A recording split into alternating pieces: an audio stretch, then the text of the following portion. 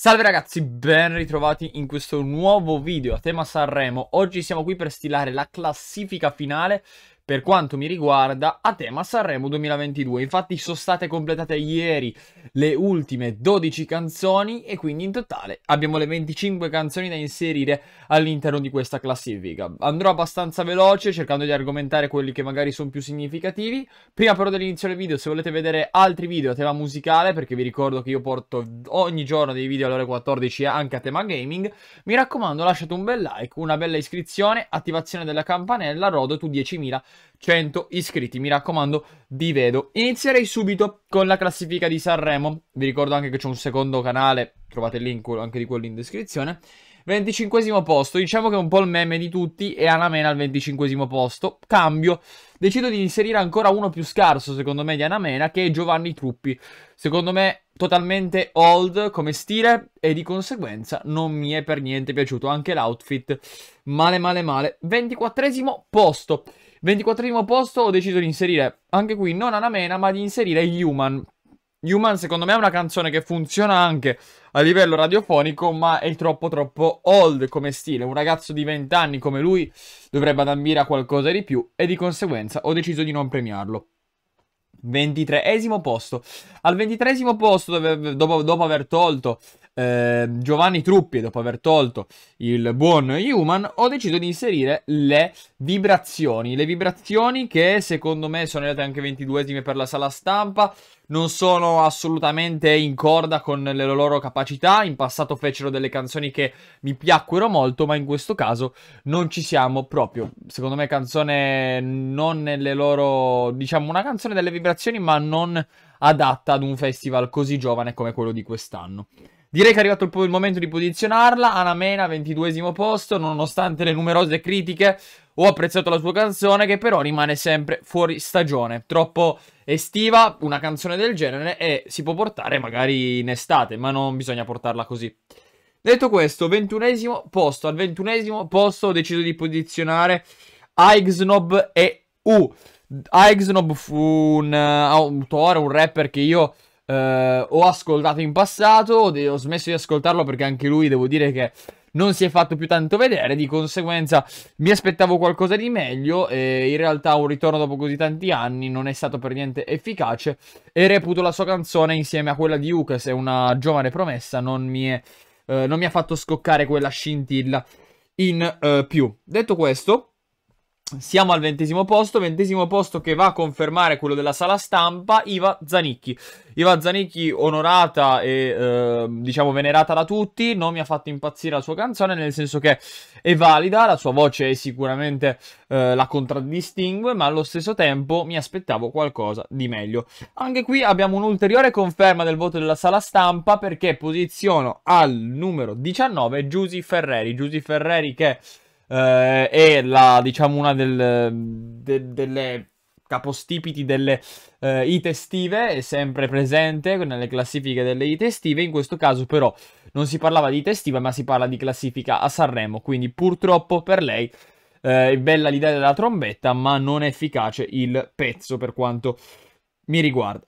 Allora, iniziamo ad andare un po' verso l'alto perché questo è il diciottesimo posto, diciottesimo posto che eh, se lo aggiudica Achille Lauro con eh, Harlem Gospel Choir, eh, canzone che secondo me non è male, nel senso che è una canzone che l'ascolti e dici non male, però non ti fa dire wow, non ti fa dire magari quel, non ti fa quel, quel solito eh, sentimento che senti quando ascolti le canzoni di Achille Lauro. Poteva dare molto di più, ha puntato molto sulla scena e il coro diciamo che fa il suo, ma non è che migliora più di tanto la canzone. Diciassettesimo posto, diciassettesimo posto aggiudicato e confermato quello della sala stampa, Matteo Romano, giovane diretto da Sanremo Giovani, non mi è dispiaciuta la sua canzone, anzi molto molto valida, devo dire che per essere soltanto da un anno, essere uscito da TikTok, ci siamo, forse uno dei giovani più forti che ci sono quest'anno, tra quelli che sono arrivati, purtroppo però sopra ho messo delle altre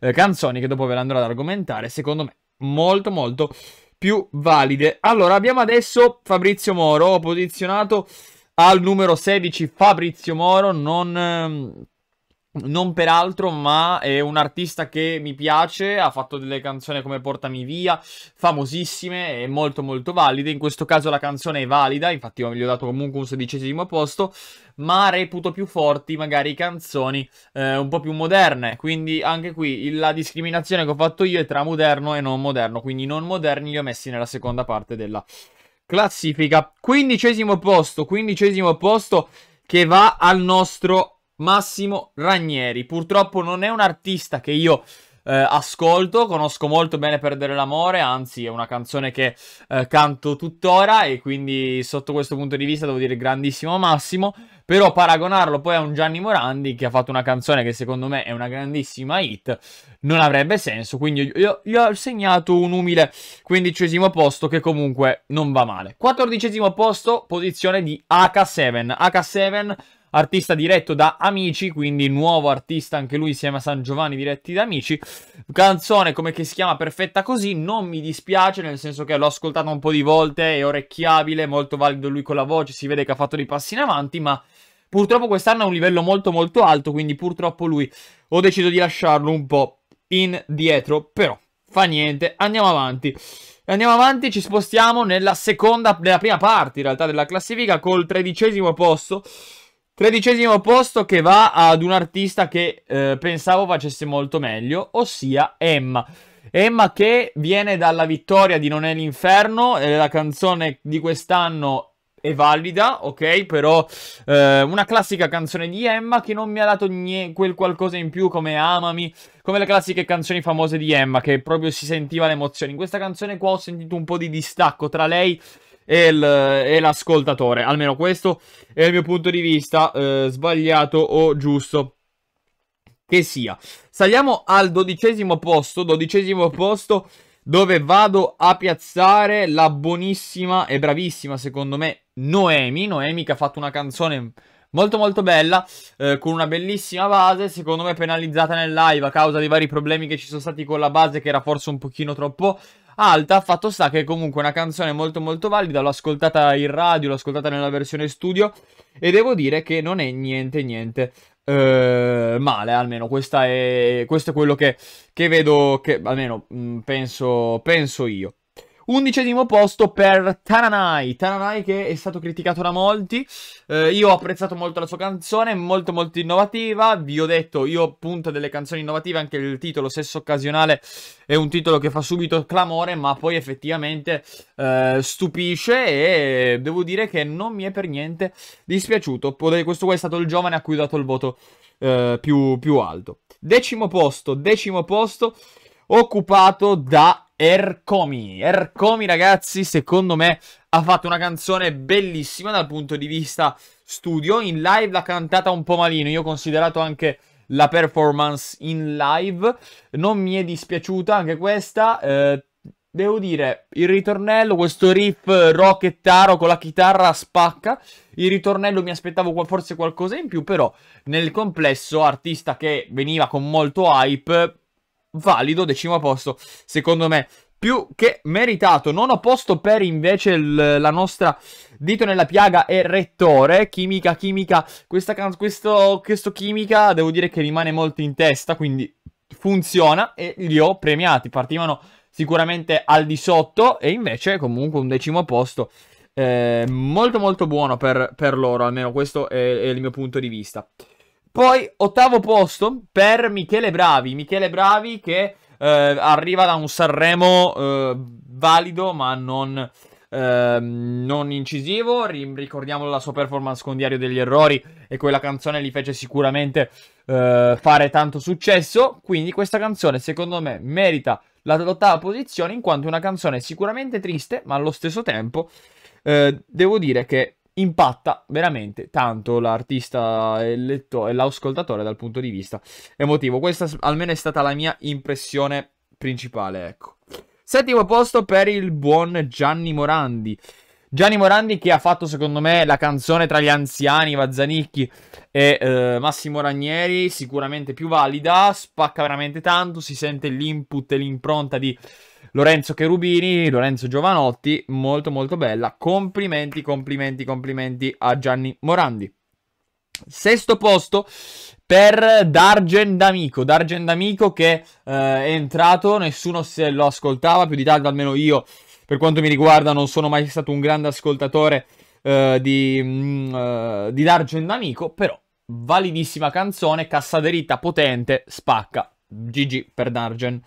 Quinta posizione, entriamo nella top 5 e ci tengo a mettere in quinta posizione un artista che io stimo molto, un artista che si chiama San Giovanni eh, uscito da amici. Eh, devo dire che è stato forse un po' influenzato, ma la canzone è molto radiofonica. Spacca, vedo che sta anche andando molto bene sui social, quindi perché non premiarlo? Bravo Sangio, se mai guarderai questo video, anzi non penso che tu lo guarderai, comunque molto molto bravo. Eh, mi è piaciuta molto la tua, la tua canzone, lo devo, lo devo ammettere.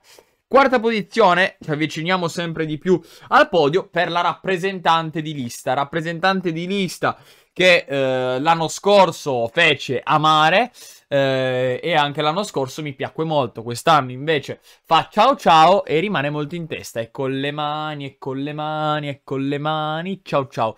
Anche molto da TikTok, quindi molto brave, fu molto furbi i rappresentanti di lista. Mi siete piaciuti molto, complimenti, complimentoni.